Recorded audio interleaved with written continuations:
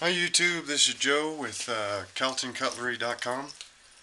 Um, today is a very exciting day for me. Uh, I had a really good month in sales.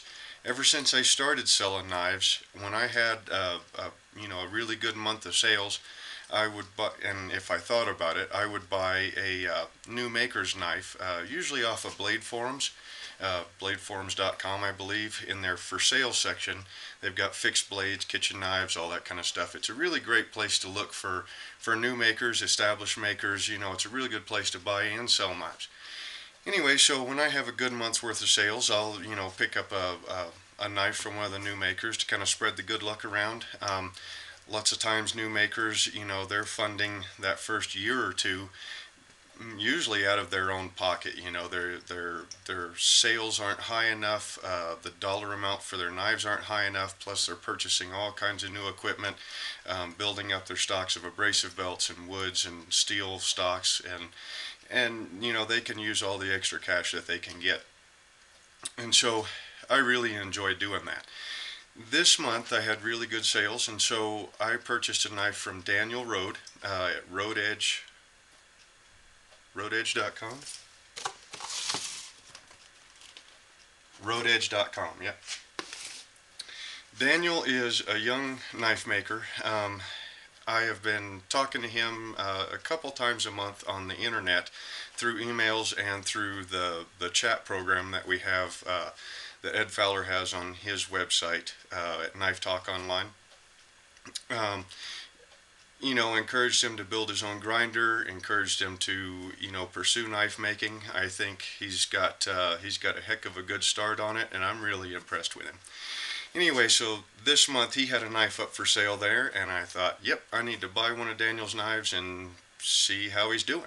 So, uh, first of all, though, Daniel's presentation blew me away. So I'm going to show you what, when you buy a knife for me, I always use these priority flat rate shipping boxes. They're a reasonable uh, cost-wise way to ship things. And I've never had the post office lose one. But basically, you'll open it up, and I, of course, use the local newspaper as, as padding material.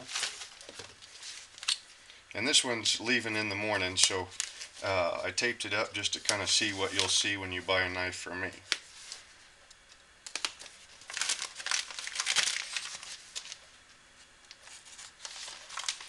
Used to, I would wrap knives up in old cereal boxes. Uh, hunters, EDCs, uh, anything that had a sheath would get put in the sheath and then wrapped up in the newspaper, you know, to kind of protect it, and then stuffed in the box, padded with more newspaper, and, you know, away it goes. Then one day I ended up getting these boxes. I believe I get these boxes from uh, US Box or something like that. They're cutlery boxes. And you know, they're not uh, wood or, you know, anything fancy, but they sure look a heck of a lot better opening up that box and seeing a knife versus just wrapped up in, in uh, uh, newspaper, and especially kitchen knives. Kitchen knives don't normally come with sheaths, so when I started, I would wrap the blades up in old cereal boxes and blue painter's tape.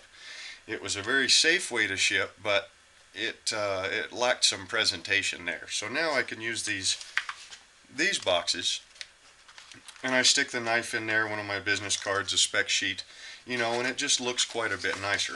Plus, with the kitchen knives, since they don't come with a sheath, you shove a cork on the tip. You can get uh, wine bottle corks. You can, I guess, you can uh, drink a whole bunch of wine to get the corks that way, or you can go to Hobby Lobby and you can buy the corks in packages of like 15 of them for four bucks or so. Put one of those corks on the tip, um, make sure your padding is, is good or add some extra um, from Hobby Lobby also. And that knife won't shift in there. Uh, it's safe to transport. Plus it looks way nicer. So this is how you would get a knife from me.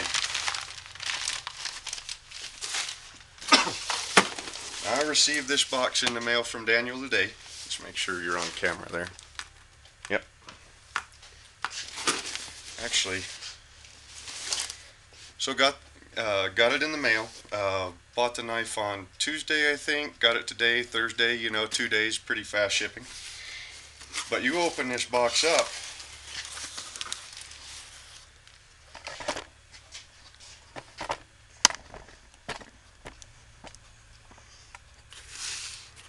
You open this box up and you've got very nice looking business cards.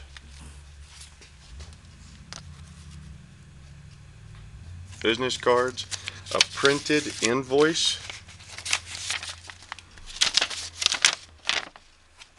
Oh, there you go. Fancy plastic uh, air bubble shipping stuff. And then you see this amazing case, zippered case.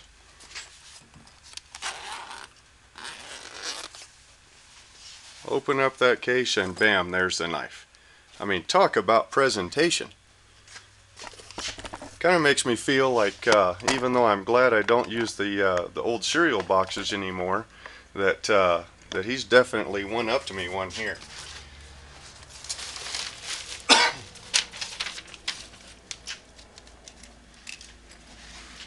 now open up the knife, get rid of the case there, and what we have here is a neck knife. 52 100 steel. Uh, believe it's some sort of diamond wood handle with brass Corby bolts.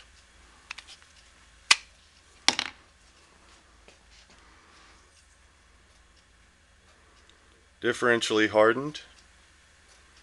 I'd say probably a 6 to 800 grit hand sanded finish and then uh, etched in ferric to bring out the, the hardening line there. Very nice fit and finish. There's no gaps around the handle scales.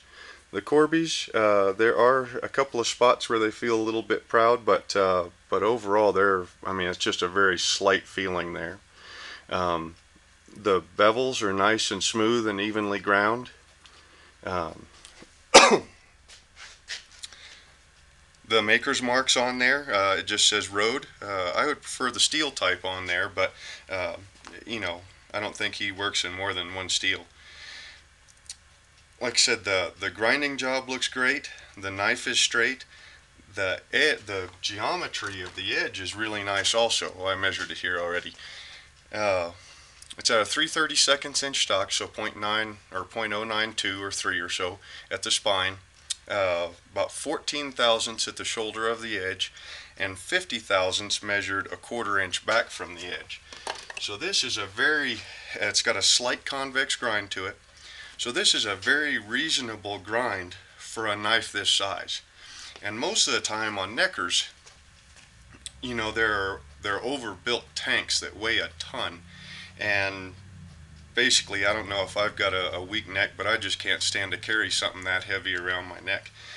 This package right here weighs an overall weight of four and a quarter ounces with the sheath. Um, it's a little bit heavy for me. Uh, my neckers, I like to have them two and a half ounces or less. Uh, it just, that feels quite a bit better around my neck to me. Um, I did some cutting tests on the blade. Well, okay, see the sheath is, is pretty stiff to come out. And I emailed Daniel and let him know that these rivet holes, you can move those, if he was to move those up about a half a rivet diameter or even a full rivet diameter, that would really lighten up the draw on his on on a sheath. Um, the edges are very nicely polished, look like they've been buffed. The back of the sheath, the rivets have got uh, the blacking's been worn off of them and some of them are split. And he asked me to uh, tell him how to fix that. Now when I do Kydex rivets. Now I, now I haven't done a whole lot of them. I think I've done about 50 of them so far. Um, maybe more than that because I threw out a whole bunch of them when I was trying to figure out how to get it to work.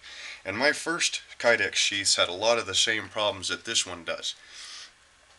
And then uh, one day I spent I spent about two days uh, working up a procedure to get my Kydex sheaths the way I want them to fit, both the fit inside the sheath, the release when you draw it, um, the ease of the knife going back in, your retention, uh, and then getting the weight down as much as I possibly could. Uh, and also, of course, figuring out the rivets and everything.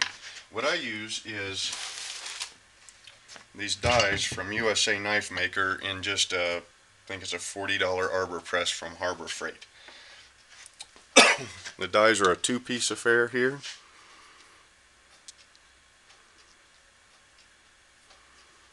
You do have to buy one set of dies per size of rivets that you work with. And then you have to modify the arbor press to be able to take them. Uh, you drill a hole in your bottom plate here to be able to put the, the die into the bottom plate.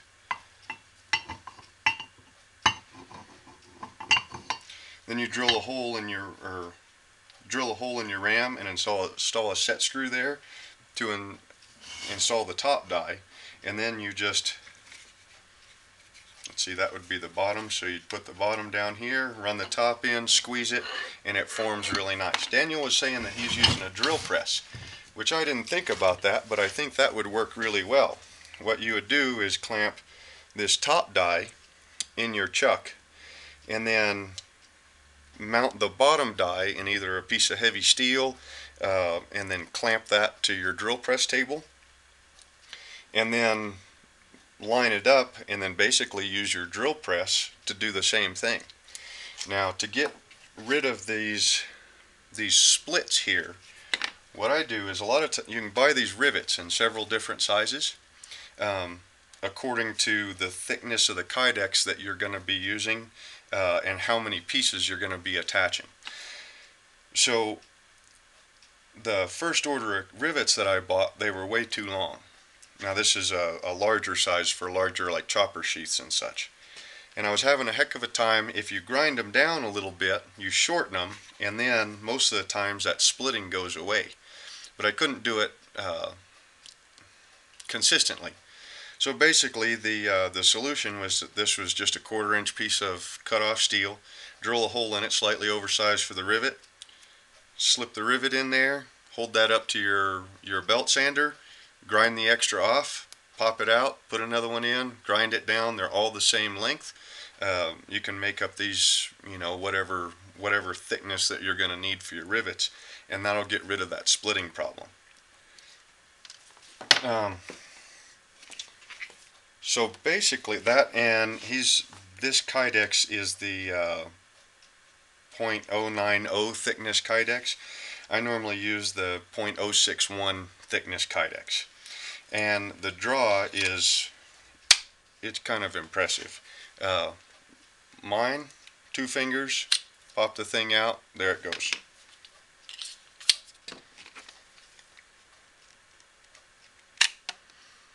Okay, but that's, you know, something easily fixed.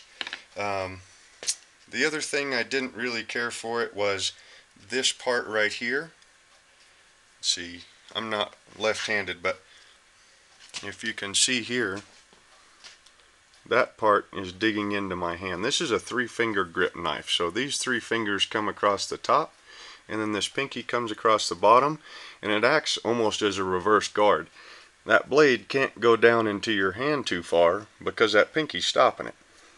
But this part right here, if you were to take and move that forward ever so slightly, then it would fit in the heel of your hand there. Also, when you go to use the knife like this, that's stabbing you. So again, if you round that or you know move this whole thing in a little bit, change the angle and make this a drop, it would feel quite a bit better. Uh, I did some cutting with it. I took out my manila rope. Um, I did a, uh, it, now it came very sharp right out of the box. Took hair off my face. It did have a polished edge on it, so when I did the first cutting test, um, it took quite a bit of force to cut through the rope, which that's that's more of the polished edge than it is anything else. So I took that edge off and put one of my Smith's 325 grit edges on it and with my uh, my rope, my test rope, one lay of this manila rope here. This is uh, three quarter inch manila rope. You get it at Home Depot. It's uh, it's pretty coarse stuff. I buy it by the roll. I think it's 150 foot, so you get uh, quite a few cuts out of a whole roll of it. I think a roll's like 80 bucks or so. Um, with the Smith's 325 grit edge, uh, like I show in my sharpening video with micro bevels. Um, the first cut started off at 8 pounds to complete the first cut. It was 14 pounds worth of force to finish the 101st cut, and then it was 18 pounds to do 201 cuts. So he had a, a 10 pound, that's what I usually do when I'm testing uh, steels, either edges, heat treats, geometries, all that. I measure the, the weight of the first cut and then the weight, or the weight of either the 201st cut or I stop when it when you get a 10 pound gain in force to complete the cut. Uh, a 10 pound gain in force, I think if my knife is going to take 10 more pounds to make a cut, basically I'm going to stop there and touch it up because it feels like it's going dull. So anyway, so yeah, his, knife did 200 cuts uh, and only took a 10 pound uh, gain in force to be able to complete the 200 cuts, which is really good. Um, I'm just, I'm just really impressed. This is probably the nicest um, new maker's knife that I've that I've ever bought. I mean, it really is. Uh, you know, and especially for a necker. I mean, you know, I'm really particular about neckers. To me, weight is everything on neckers. Now, you know, we were talking about this sheath. That sheath right there alone, if if he was to make them like my sheaths, he could take a full ounce out of the weight. Now his weighs four and a quarter ounces. That would drop it down to three and a quarter ounces just off of the sheath. Um, the rest of the knife, I think I would leave it alone. It's a nice, it's actually designed to be a using knife as a necker, not a pry bar, not a prison shank, not, you know, a, a car opener, not any of that. It's a, a very nice utility knife in a necker package. And I congratulate Daniel. I am very happy that I was able to buy it from him. Um, I hope he gets to uh, get more materials off the money that I sent him for the knife. And I really hope he keeps making these knives, make some improvements, turn a good knife into a great one. Uh, yeah, if anybody wants to check out his work, it is at www